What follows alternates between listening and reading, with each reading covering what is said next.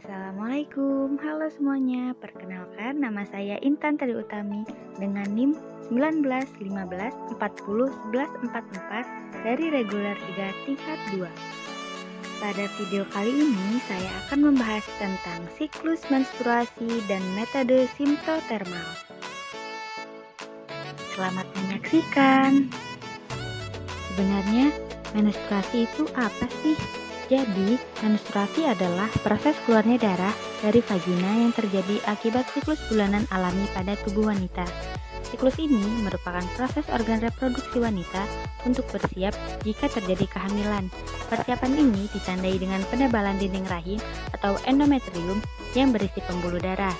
Jika tidak terjadi kehamilan, endometrium akan mengalami peluruhan dan keluar bersama darah melalui vagina. Berapa lama sih siklus menstruasi yang terjadi pada wanita? Jadi, pada umumnya, siklus menstruasi normal rata-rata terjadi setiap 28 hari. Ada pula yang memiliki siklus haid sekitar 25 sampai 35 hari. Hal ini masih terhitung normal. Kamu dianggap memiliki haid yang teratur jika menstruasi datang setiap 23 hari atau setiap 35 hari atau di mana saja di antara rentang waktu ini. Menstruasi yang normal berlangsung antara 3 sampai 7 hari. Gambar ini merupakan siklus menstruasi yang terjadi pada wanita.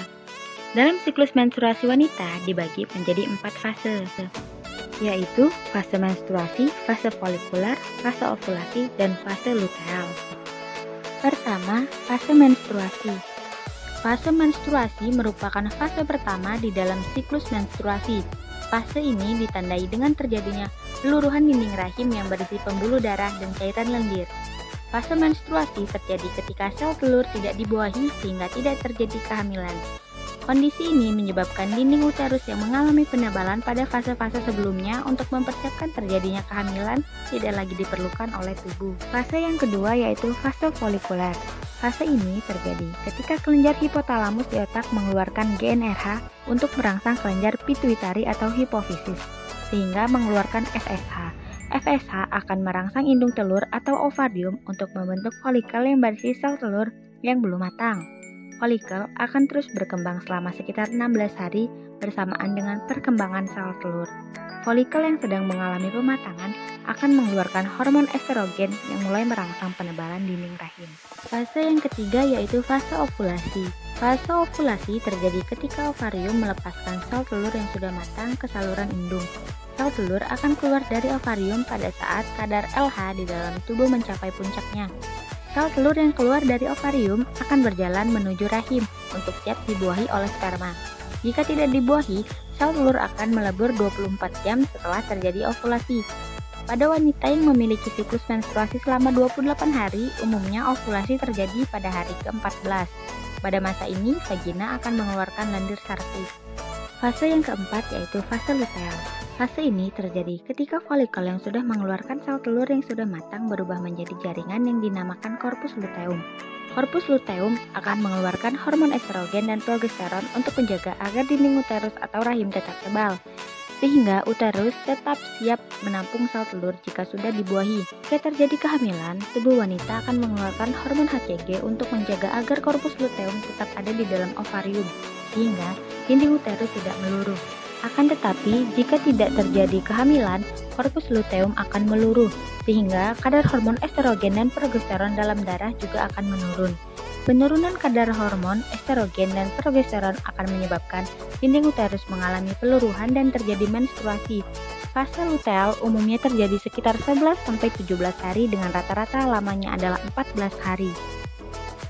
Selanjutnya, kita akan membahas tentang metode simptotermal. Metode sintotermal merupakan metode keluarga berencana alamiah atau KBA yang mengidentifikasi masa subur dari siklus menstruasi wanita.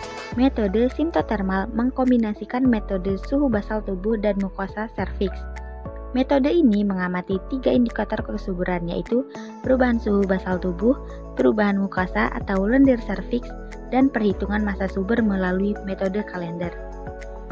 Metode simtotermal akan lebih akurat memprediksikan hari aman pada wanita daripada menggunakan salah satu metode saja. Ketika menggunakan metode ini bersama-sama, maka tanda-tanda dari satu dengan yang lainnya akan saling melengkapi. Teknik simtotermal Setelah darah haid berhenti, ibu dapat bersenama pada malam hari pada hari kering dengan berselang sehari selama masa tak subur. Ini adalah aturan selang hari kering atau aturan awal yaitu aturan yang sama dengan metode lendir cervix. Masa subur yaitu ketika mulai ada perasaan basah atau muncul lendir. Pada saat seperti itu, berpantang bersenggama sampai masa subur berakhir. Selanjutnya yaitu keuntungan atau manfaat dari metode simtotermal. Yang pertama, aman karena tidak ada efek samping. Yang kedua, ekonomis. Yang ketiga, meningkatkan hubungan kerja sama antara pasangan. Yang keempat, dapat langsung dihentikan apabila pasangan menginginkan kehamilan. Dan yang kelima, tidak memerlukan tindak lanjut atau alat kontrasepsi lain setelah belajar metode simtotermal dengan benar. Hal-hal yang mempengaruhi metode simtotermal menjadi efektif dan tidak efektif. Hal yang pertama yaitu menjadi efektif apabila satu, Pencatatan dilakukan secara konsisten dan akurat. 2. Tidak menggunakan kontrasepsi hormonal. 3. Penggunaan metode barier. Metode simtotermal tidak menjadi efektif apabila 1. Wanita yang mempunyai bayi 2. Wanita yang mempunyai penyakit dan yang ketiga yaitu wanita yang mengkonsumsi alkohol. Sekian video penjebaran dari siklus menstruasi dan metode simtotermal dari saya. Terima kasih telah menyaksikan. Wassalamualaikum warahmatullahi wabarakatuh.